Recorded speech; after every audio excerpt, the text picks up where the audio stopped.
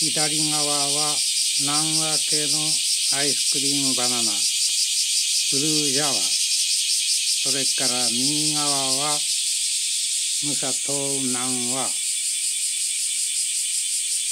トール系の南和バナナの代表的な品種で旧那覇バナナ園さんはベジタブルという名前で販売していました。ベジタブルという名前から料理バナナ調理バナナを思い浮かべる人が多いと思いますがこれは生殖可能じゃなくデザートバナナです。生殖バナナです。ただ旧那覇バナナ園の飯塚社長さんがベジタブルと言った他に英語の文献にもですねクッキンという表現を使っている文献もありますのでもちろん美味しいデザートバナナはですね料理用に使ったらあ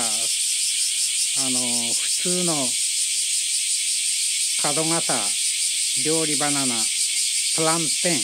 よりも美味しいんですよ。料理しても。でも基本的にはベジタブルバナナというのはトール系の美味しい美味しい南和バナナの代表的な存在ですからその辺は誤解なさらないでください。これは沖縄にいた頃からずっと書いてきてるんですがね。名前がちょっとベジタブルというとクッキン バナナプランテンなのかなと思う人たちもいるのは無理もないと思いますがね。それで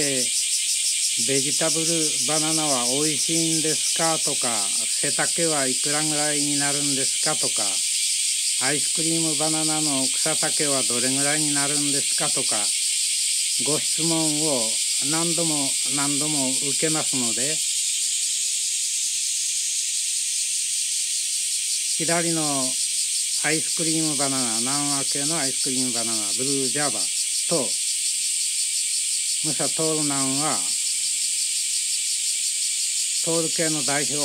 的な美味しいバナナ苗を2組一緒に出しますからどうぞご自分でね成長の具合を観察してそれから出来開花結実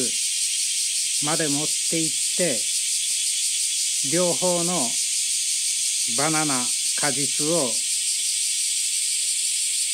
賞味して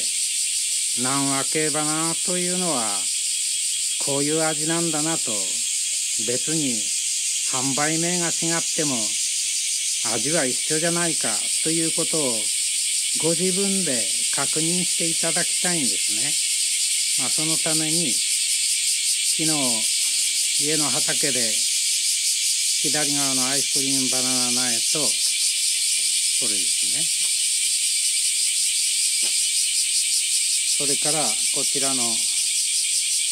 サトールナンワーと私が言っているものドワーフナンワーに対してトールナンワーと言ってるんですを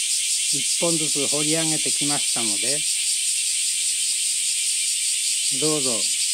両方を育ててできることなら収穫そして賞味して南和系バナナというのはまあこんなこんなというかこのような美味しいバナナなんだなということを何年かかけてでもご確認いただきたいんですね。草丈も一緒です。ほぼ一緒ですから。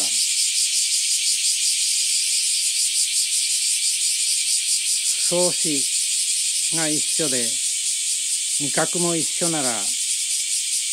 別にアイスクリームバナナというようがですね。まあ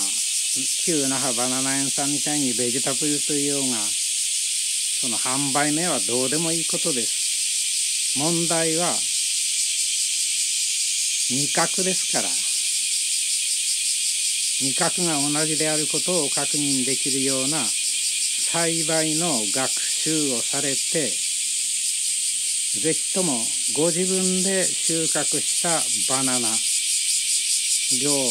苗のバナナを味わって今私が話してきたものことをですね確認していただきたいんですね。